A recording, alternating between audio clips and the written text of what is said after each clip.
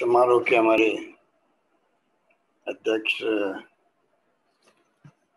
केंद्रीय मंत्री गजेंद्र सिंह शेखावत जी, शांतिलाल जी मोता साहब founder Bharatiya Jain Sangathan, Rajendra Lunker ji, national president, Rajkumar ji Fetawat ji, Rajasthan state के president, मेरे बड़े भाई मुफद्दा जी मोनोत आदरणीय वल्लभ भंसाली जी, मोतीलाल जी, ओसवाल जी, प्रदीप राठौड़ साहब और तमाम बीजेएच के तमाम पदाधिकारीगण और तमाम जो भाइयों बहनों जो इस प्रोग्राम जुड़े हुए हैं। मुझे बहुत पसंद आया कि बीजेएस के बारे में जो मैंने सुना उससे मैं बहुत प्रभावित हुआ। जिस रूप में उन्होंने धारावी में हो चाहे जब कभी चुनौती आई सामने तो महाराष्ट्र हो, तमिलनाडु हो या बंगाल हो, कोई राज्य हो जहाँ पर उन्होंने अपनी भूमिका अदा करी है। और ये हमारे ब्लड के अंदर है। ये हमारी खूबी राजस्थान वासियों की, क्योंकि राजस्थान के प्रवासी जो देश भर में दुनिया में फैले हुए हैं मुझे याद है, बीस साल पहले जब मैं मुख्यमंत्री था, तब मैंने इंटरनेशनल राजधानी कॉन्क्लेव किया था। पहली बार मैंने सबको याद किया, सब लोग आए। और मैंने देखा कि बहुत बड़ी खूबी है, ये तो घर में अभी तक भी सौ साल पहले गए हों, चाहे पचास साल पहले गए हों। पर आज भी घर में मारवाड़ी बोलेंगे, बातचीत करेंगे और भाव वही रखेंगे जो कि हमारे संस्कारों में समृद्ध है बचपन से ही, प्राचीन काल से ही किस प्रकार सेवा करना। और आज भी अकाल में सूखे पड़ते थे, अब तो कम पड़ते हैं, क्योंकि कई साधन हो गए हैं। तो अपने गाँव तक आना, शिक्षा में, स्वास्थ्य सेवा में, गरीबों की मदद करना, सुख दुख में भागीदार बनना निभाते हैं। और आज भी वो गाँव से रिश्ता रखते हैं। आज भी देश की अर्थव्यवस्था को प्रभावित करने वाले भी हमारे बड़े बड़े घराना हैं, जिनके नाम नहीं लेना चाहूँगा सब आप जानते हो। एक से बढ़ के एक है। उस राजस्थान के हम लोग वासी हैं, इस बात का हमें गर्व है। उसी रूप में चुनौती जब कभी आई है तो चाहे गुजरात का भूकंप आया हो, चाहे उड़ीसा का तूफ़ान आया हो, चाहे सुनामी आई हो, चाहे केरला में बाढ़ आ गई हो। कश्मीर में भूकंप या बाढ़ आ गई हो, मुझे याद है कि राजस्थान के अंदर जब कभी हमने आह्वान किया उनको तो लोगों ने आके वो इमदाद करी जो कोई कल्पना नहीं कर सकता। गुजरात के अंदर भूकंप था। सुबह भूकंप आया, शाम को पाँच बजे हमने टीम भेज दी यहाँ से। और जो वहाँ पर राजस्थान वासियों ने, उसके बाद में जो सामग्री भेजी भेजी थी वहाँ पर ट्रकों के ट्रकें लाद करके। मैं भी नहीं जानता किस संगठन ने क्या किया। सारे राज्यों पीछे छोड़ दिया राजस्थान वासियों ने। वो राजस्थान के लोग हैं। इतने जब बीजेपी संगठन के बारे में मैंने सुना और शांतिलाल जी मोता जी से और बात हुई राठौड़ साहब से उन्होंने कहा, हम ऑक्सीजन कंटेनर देंगे तो मुझे बहुत खुशी हुई। समाज संगठन के लोग आगे आते हैं तो मैं समझता हूँ कि ज़्यादा कामयाबी मिलती है ऐसे वक्त के अंदर। राजस्थान सरकार ने कोई कमी नहीं रखी। पिछले एक साल से लगातार करीब 225-30 तो मैंने वीसी ली होगी। पूरी मॉनिटरिंग हम लोग खुद कर रहे हैं। ज़ीरो यहाँ सैंपलिंग होती थी। पूना और दिल्ली भेजते थे सैंपल। आज एक लाख सैंपल प्रतिदिन हम कर सकते हैं, टेस्ट कर सकते हैं। आई चुके बेड, वेंटिलेटर, सभी तरह का इंफ्रास्ट्रक्चर बढ़ा है राजस्थान के अंदर। अब भी घर घर सर्वे चल रहा है, जिससे कि टाइमली इलाज शुरू हो सके। पीएचसी सीएचसी तक भी हमने तय किया है कि किस प्रकार से वहाँ ऑक्सीजन कंसेंट्रेटर लग जाए, जिससे कि शहरों में भीड़ कम हो जाए, दबाव कम हो। सीएचसी में कुछ आईसीयू बेड लगाने की बात भी हम कर रहे हैं। सब तरीके से, चाहे गाँव हो, चाहे शहर हो, जिस रूप में चुनौती बड़ी है, क्योंकि पहले लहर में जो लोग आते थे, तब बहुत कम लोग आते थे जो ऑक्सीजन की डिमांड होती थी, मामूली होती थी। बीस परसेंट मुश्किल से होते, सारे बेड खाली पड़े रहे, आईसीयू के अंदर, वेंटिलेटर खाली पड़े रहे। इस बार ऐसी स्थिति बन गई, सेकेंड लहर की, जिसमें 80 परसेंट लोग तीन चार दिन में सीधा लंग्स के अंदर pneumonia high flow oxygen ventilator की ज़रूरत इस बड़े रूप में हो गई कि कोई कल्पना नहीं कर सकता था। और उसी रूप में संख्या बढ़ती जा रही थी। और ये दूसरा कारण ऐसा घातक आया है जो तीन चार दिन में तो फैल जाता है, तेज़ी से फैल रहा है। परिवार के परिवार आगे भर्ती हो रहे हैं अस्पताल के अंदर। नौजवान और बच्चे तक आने लगे जो पहले नहीं आए थे बुज़ुर्ग आए थे उस वक्त में। मृत्यु दर बहुत भयंकर हो गई। पिछली बार पूरे साल भर में हम लोगों के ना ट्वेंटी बीस लोग मैक्सिमम हो रहे थे पर डे।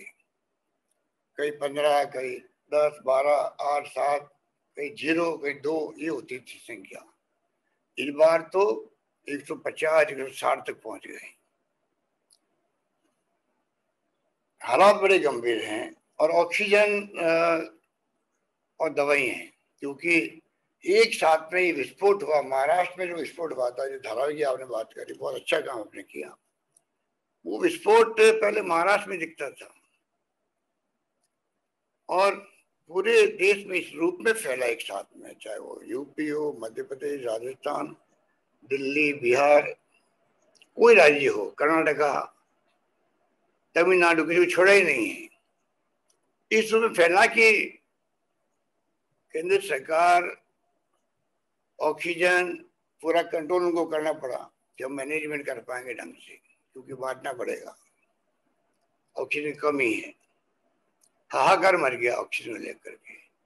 और जो कोई खबर आती है कि साहब ऑक्सीजन से आदमी, इसलिए मर गया कि ऑक्सीजन नहीं है। या नहीं मिली उसको। फॉर्चुनेटली राजस्थान के अंदर, पूरे देश के अंदर कभी उसका नाम नहीं आया बदनामी के अंदर। वरना जो हालात देख रहे हैं हम लोग शमशान घाटों की खबरें आ रही है टीवी के अंदर, गंगा के किनारे, जिस रूप में ऑक्सीजन से चौबीस लोग मारे गए कि सरकारी अस्पताल में कर्नाटका के अंदर बंद हो गया ऑक्सीजन। गोवा के अंदर सितर लोग मारे गए गोवा के अंदर, ऑक्सीजन कमी से। ऐसी स्थिति, इतनी बड़ी चुनौती है जिसका मुकाबला सब मिलकर ही कर सकते हैं, सब मिलकर ही कर सकते हैं। केंद्र हो या राज्य सरकार हो। अभी हमारे सामने मैं बार बार कहता हूँ राजस्थान के अंदर भी, हमारे सामने इंसानियत होनी चाहिए सिर्फ़, जो धर्म विजय निभा रही है। ना धर्म, ना जाति, ना वर्ग, ना विचारधारा। जो सामने आ जाए, वो व्यक्ति है, इंसान है, उसकी हमें सेवा करनी है। उसको हम बचावें कैसे? उसके लिए हम क्या क्या कर सकते हैं सरकारी स्तर पर, गैर सरकारी स्तर पर?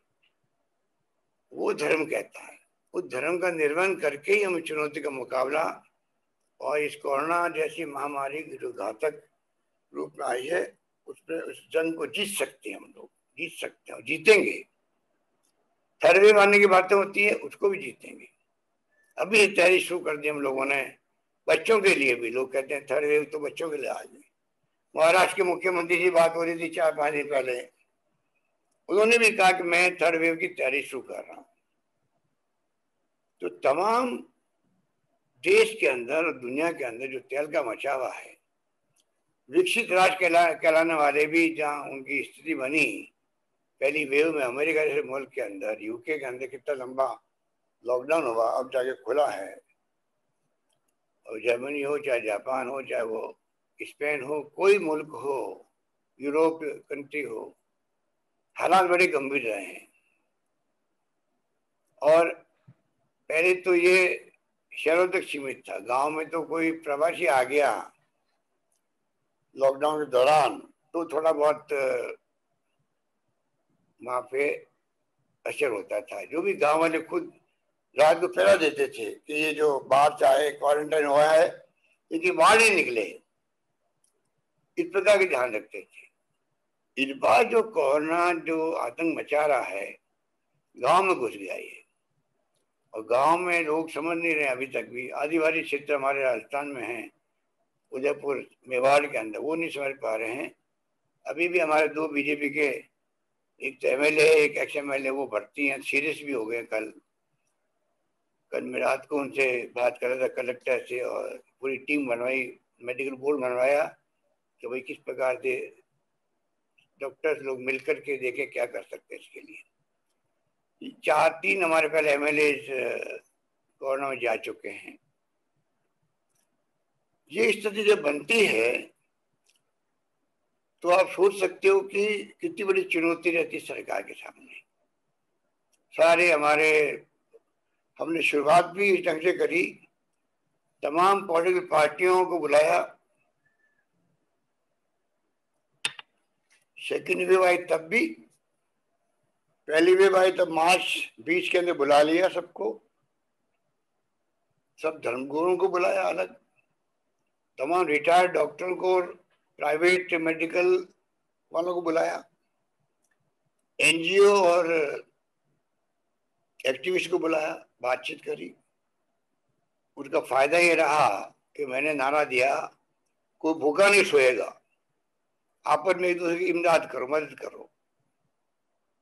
राजस्थान सतर्क है और मुझे खुशी है कि पूरे प्रदेशवासियों ने जिस रूप में उसको लिया सूखी सामग्री हो या पका हुआ खाना हो।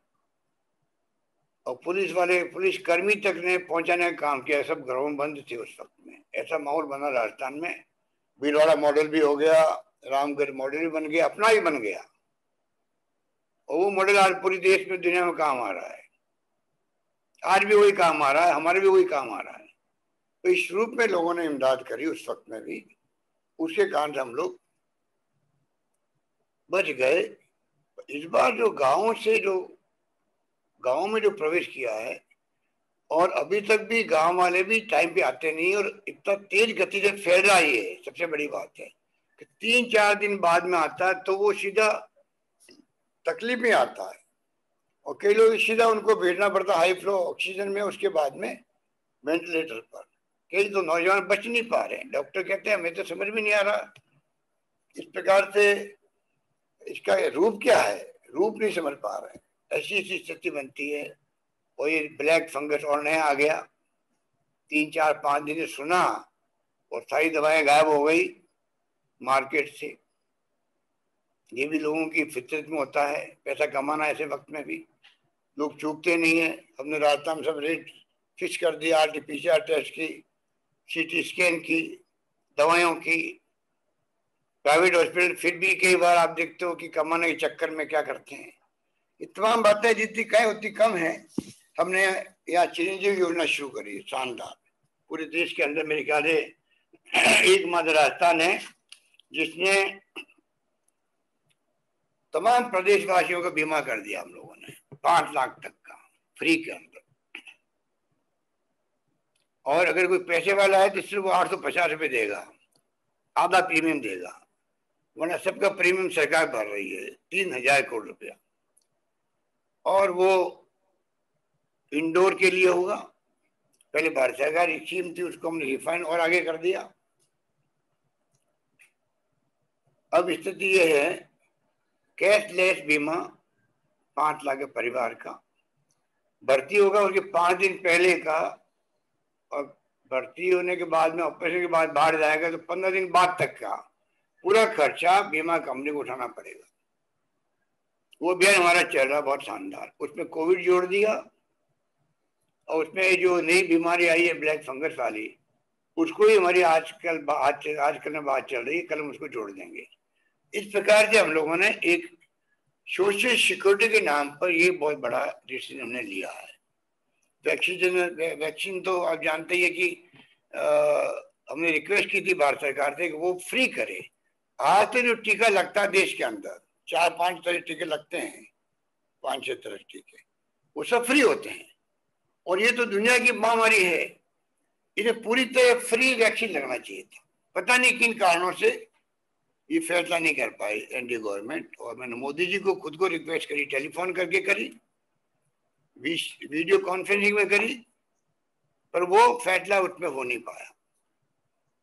और राज्यों में छोड़ा है, राज्य भी एक साथ में सब लोग ग्लोबल टेंडर कर रहे हैं, आपस में कंपटीशन कर रहे हैं। जबकि अगर राज्यों को खरीदना था, तब भी ग्लोबल टेंडर होना चाहिए था केंद्र से। वो फिर राज्यों से बांट करके वापस पैसा वसूल कर ले तो ज़्यादा ठीक रहता एक टेंडर होता देश का। और हमें वैक्सीन की बहुत बड़ी आवश्यकता रहेगी। वैक्सीन का घोषणा होती है, पर वैक्सीन के सेंटर बंद होते हैं बार बार ये कोई शिकायत नहीं होती केंद्र से। कुछ ऐसा माहौल बन गया कि आप अगर सही बात भी फीडबैक के रूप में दो केंद्र को तो वो कहते हैं तो शिकायत हो रही है हमारी। और नीचे ऊपर के लोग कमेंट करने लग जाते हैं। शिकायत नहीं होती है। ये फीडबैक होता है कि भाई, ये स्थिति है कल दो लाख बच्चे हमारे पास वैक्सीन और हम तो एक दिन पाँच लाख से अधिक कर रहे हैं, अस्सी लाख, एक पाँच लाख, अस्सी हज़ार कर रहे हैं। आप सबको जाने खुशी होगी, राजस्थान ने जो कोरोना में तो खैर काम किया, उसको लेके सब जगह उसकी लोग अप्रिशिएट भी कर रहे हैं देश के अंदर, पर वैक्सीन के अंदर भी राजस्थान नंबर वन है देश के अंदर। चाहे वो सिक्सटी प्लस हो, चाहे वो फोर्टी फाइव प्लस हो, हम लोग नंबर वन है देश के अंदर। इस रूप में हम लोगों ने शानदार वैक्सीन का प्रमोट किया लोगों को, पर अब जो वैक्सीन मिल नहीं रही है फोर्टी फाइव वाले भी नहीं मिल रही है, और सिक्सटी भी नहीं मिल रही है। कभी कभी आएगी तो कहने, खोलेंगे, फिर वापस बंद करेंगे। एक प्लानिंग एक रोड मैप बनना चाहिए था वैक्सीन का, क्योंकि सबको मालूम है कि सेकेंड वेव आएगी भी तो हम लोग अगर वैक्सीन में आगे बढ़ जाते, क्योंकि वैक्सीन ऐसी चीज़ है, कम से कम मृत्यु दर बहुत कम कर देती ज़ीरो कर देती करीब करीब ज़ीरो कर देती है। इक्का दुक्का लोग मरे हैं, दो वैक्सीन लगाने के बाद में अगर दो वैक्सीन लगाने के बाद में आदमी माइल्ड अटैक होता मेरे ऊपर भी अटैक हुआ। पर क्योंकि मैं दो वैक्सीन लगा चुका था तो मैं बच गया। मुझे अभी सेवा करने का लगता है कि आ, समय दिया हुआ भगवान का इसलिए मैं जल्दी ठीक हो गया।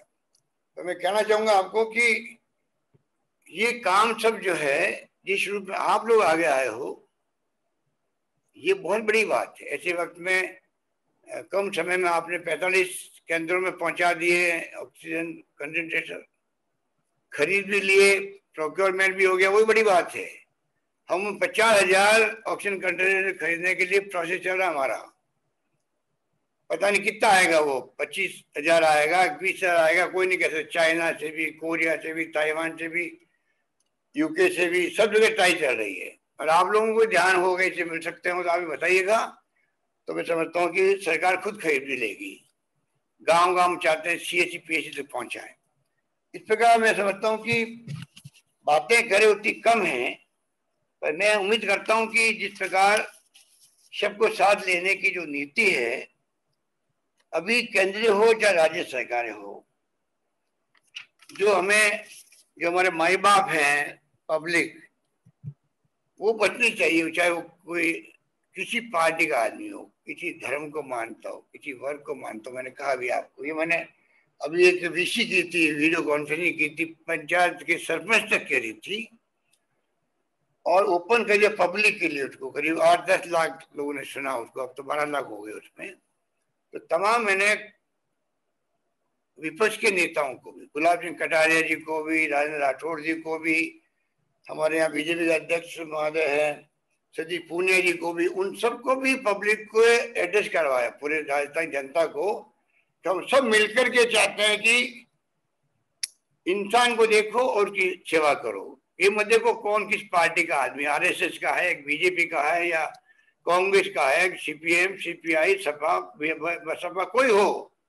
आदमी सामने कौन है, इंसान है, उसकी इमदाद करो। ये भावना हम सब होगी, तब जाकर के हम ये जंग जीत पाएँगे। और वही भावना मैं समझता हूँ कि पूरे देश के अंदर अभी जो मैसेज जा रहे हैं प्राइम मिनिस्टर ने भी देश को संबोधन किया।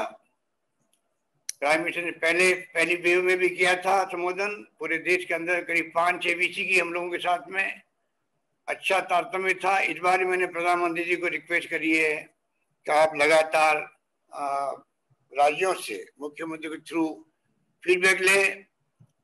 तो ज़्यादा और अच्छे लगे काम कर पाएँगे। कल ही उनका टेलीफोन आया प्रधानमंत्री जी का। तब भी मैंने राजस्थान के हालात बताए उनको। आज गृह मंत्री जी का फ़ोन आया, तब भी मैंने उनको हालात बताए। और मुझे खुशी है कि कल प्रधानमंत्री जी ने जो वादा किया था कि मैं ऑक्सीजन के लिए आपके लिए कुछ करूँगा, क्योंकि ऑक्सीजन बहुत बड़ी तकलीफ़ राजस्थान में है। मैंने कहा, अब तो पेशेंट की संख्या हर राज्य में है। उसके अकॉर्डिंग टू बांट दीजिए, हमें कोई शिकायत नहीं रहेगी। हमें ईस्ट से मिल रही है उड़ीसा से और बंगाल से। वहाँ से लाना बहुत मुश्किल है। मैं चाहूँगा गजेंद्र सिंह जी बैठे हुए हैं। ये भी थोड़ा ताकत लगाए वहाँ दिल्ली के अंदर कि इतने बड़े राजस्थान में वहाँ से आना संभव नहीं है। हम मुश्किल सौ एम ले, ले पाए। पंद्रह सौ का हमारा कोटा था वहाँ। तो ये स्थिति जो है मैं समझता हूँ कि हम सब मिलके ही इसको पार पाएँगे और मुझे कोई आ, मैं समझता हूँ कि जिस रूप में आपने आगे बढ़ करके आज प्रोग्राम किया है, मैं शांतिलाल मोहता जी को और राठौर साहब को साधुवाद देता हूँ, बधाई देता हूँ और उम्मीद करता हूँ कि हम सब मिलकर के राजस्थान का जो आपने जो कल्पना की है, सोचा है, हम उसी ढंग से काम करेंगे और जो फीडबैक आपसे आएगा, उसको ही हम लोग फॉलो करेंगे। हम चाहेंगे सबको साथ मिलकर के वल्लभ भंसाली जी ने समुद्र की बात करी तो मेरे दिल में आया कि उन्होंने बहुत शॉर्ट में गागर में सागर भर दिया।